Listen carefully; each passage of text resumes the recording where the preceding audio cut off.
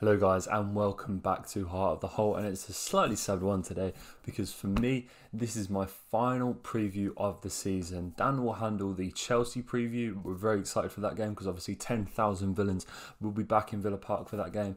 But this time, we're heading to North London to face Tottenham Hotspur away from home. They're a side who came to Villa Park and beat us 2 0 earlier on the season, so hopefully, Dean Smith and the lads have vengeance on their minds as they go into this one.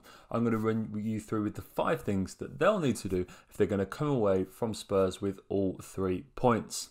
Let's waste no time, guys. Let's get it. Now, the first thing that you need to do if you're going to stop Tottenham Hotspur is to stop that front line. They have such a wealth of attacking talent. If you look at the likes of Heung-min Son, Harry Kane, Gareth Bale, Dele Alli, the list goes on and on and on. Even Carlos Vinicius is someone who scored against us in the return leg at Villa Park. If you're going to stop that front line, you need to be patient and use your defensive best traits to your advantage. We all know that Tyrone Mings and Ezri Konsa lead the league in blocks and clearances and in those kind of metrics. So as long as you're in the face of those players when they receive the ball, usher them wide, don't show them towards goal and make sure that you don't dive in and give away silly free kicks because those players that I mentioned before are so good from dead ball situations. You have a good chance at stopping them getting on the score sheet. So I think the trick is not to be rash, don't dive in, usher them away from goal, use the blocks and clearances when the moment is right to get the ball clear and use counter attacks to our advantage.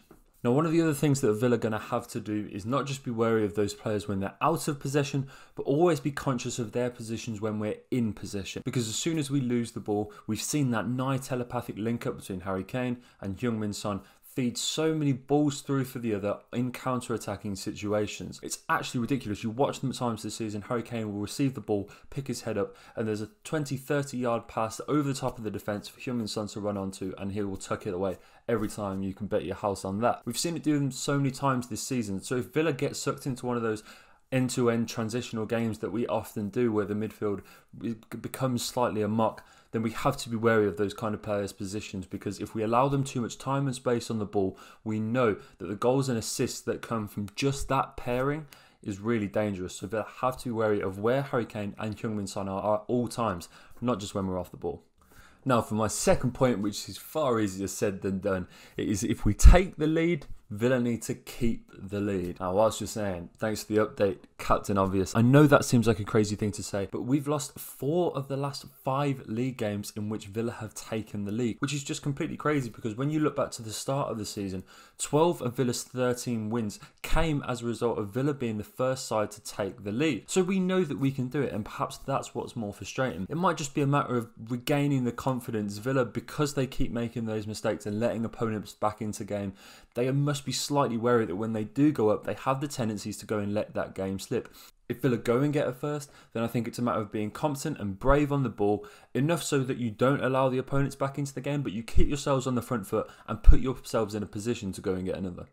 Now, no player in the Premier League has scored more goals against the so called top six than Ollie Watkins this season, who will be crucial if Villa are to get anything out of this game. And I'm not just talking about him scoring goals. If you go back to Leeds' win over Spurs just last week when they put three past a ragged Spurs defence, it was because of the movement in and around the area. I recommend you go and look at Patrick Bamford's goal for this one that just completely bamboozled the Spurs defence. There were so many runs and dribbles happening in and around the 18 yard box that some players didn't know whether to step in, step out. Eric Dier in particular was stuck in the mud on many occasions just because of the sheer amount of movement that was going on around him. Ollie Watkins, we know, is very good in front of goal, but we also know that his energy and running in the game is almost completely unmatched. It's very crucial that he uses those runs to drag Spurs defenders away from those players like El Ghazi and Traore, who can operate in those spaces 12 yards out from goal, and 9 times out of 10 seem to be able to end up putting the ball in the back of the net.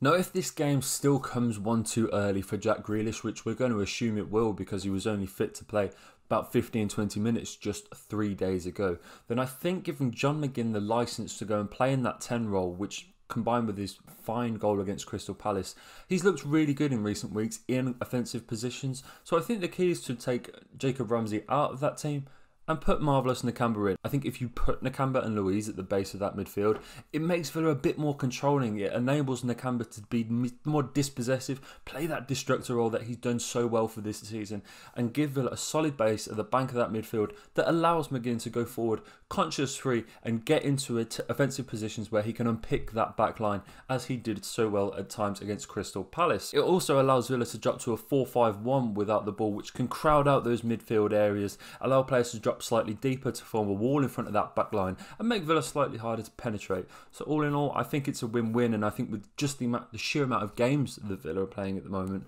making some changes is going to be necessary in keeping the Villa players fit for that final game of the season where Dean will want to put on a show in front of his fans.